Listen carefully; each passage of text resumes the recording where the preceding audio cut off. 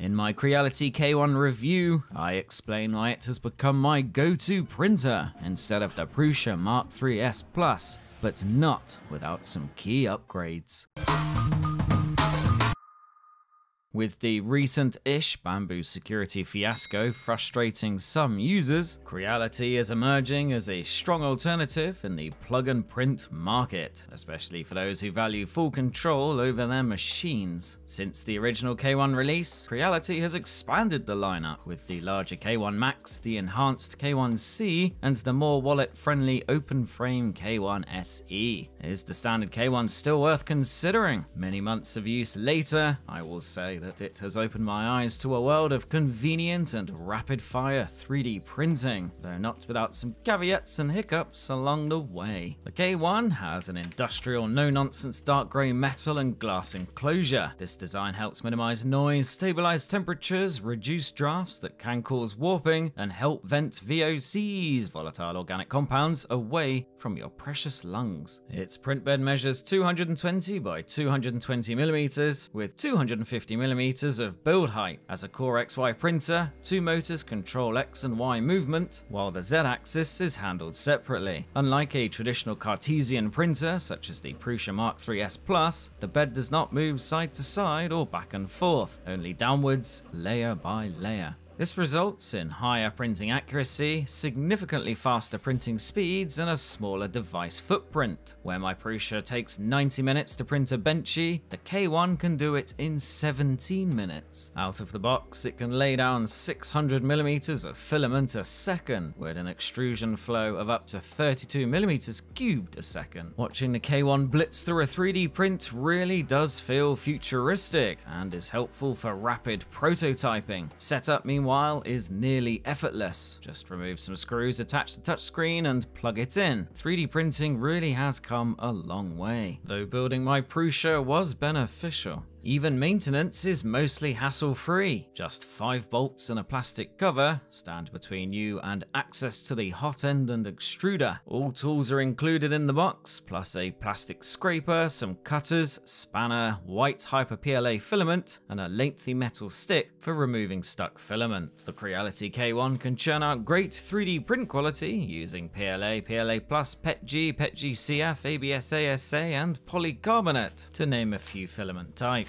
Its sturdy enclosure gives you the best chance of success, whether printing functional items or character models. It is also a huge plus that Creality has decided against locking down its 3D printers, unlike rival Bambu. Not only are you able to root the K1 series without too much difficulty, guide on the website, you can begin the process within the K1 menu, once you pretend to read the disclaimer for 30 seconds. Pro tip, if you root the K1, do not run automatic automatic updates, or you will get errors and need to perform a factory reset. Once rooted, you will have full control over Klipper as opposed to the partly restricted inbuilt version. Another pro is the supplied print bed. It may not be double-sided, but print materials stick to it convincingly and separate easily once cooled, especially if you use the supplied glue stick. Combined with automatic Z leveling, you spend more time printing and less time troubleshooting, as it is with a pricier Prusa. While the K1 had early issues, most have been resolved in newer batches, printer batch 2306 Plus. If you buy old stock, expect to upgrade key components. Creality offered a free upgrade for a while, which I missed out on,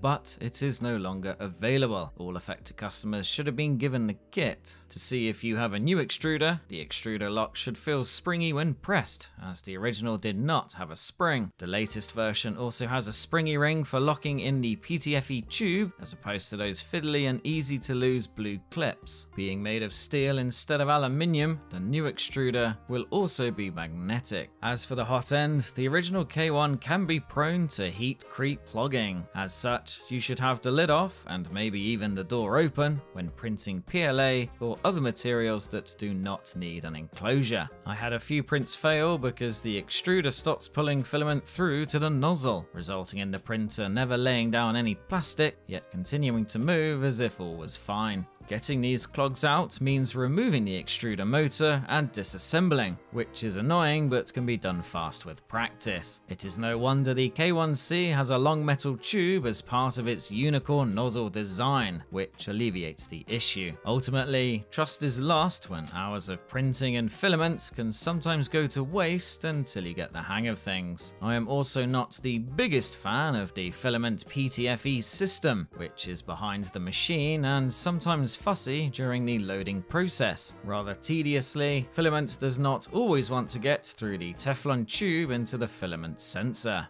I upgraded to a smoother PTFE alternative from Creality, which seems more reliable, but is not translucent, so you cannot see breakages. Though breakage should not happen unless the filament is old, wet, or the angle of entry too tight. Also at the back of the K1 is the filament reel and power button, which is more troublesome to reach than the holder atop the rail of my Prusa Mark 3S Plus. With that said, I typically feed directly from a Sunlu S2 filament dryer. Points are also lost when printing at slower speeds for materials such as PETG and PETG CF. Without upgrading the pulleys, you may see vertical fine artifacts, VFA for short, on straight surfaces below 120mm a second. My custom Lian Li O11 Dynamic Evo XL feet extensions, for example, exhibit the issue, regardless of print orientation. Rubber feet, while a welcome addition, should also slot into the bottom bottom of the case to make moving the K1 easier. A somewhat quieter fan setup would be great too,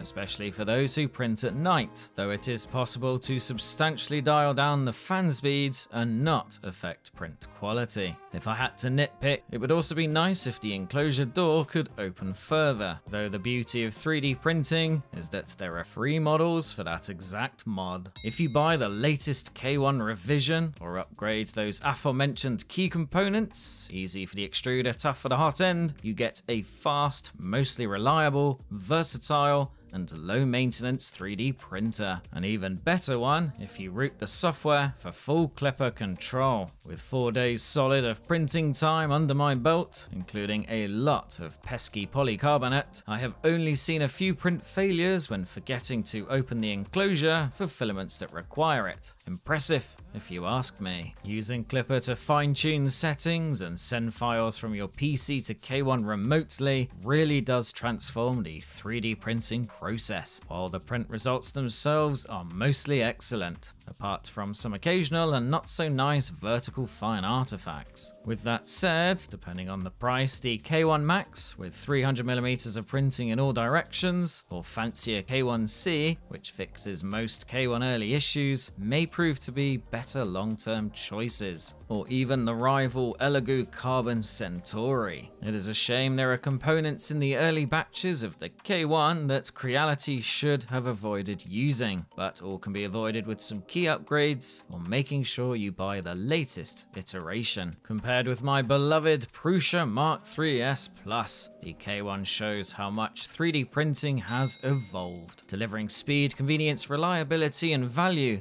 in a compact design.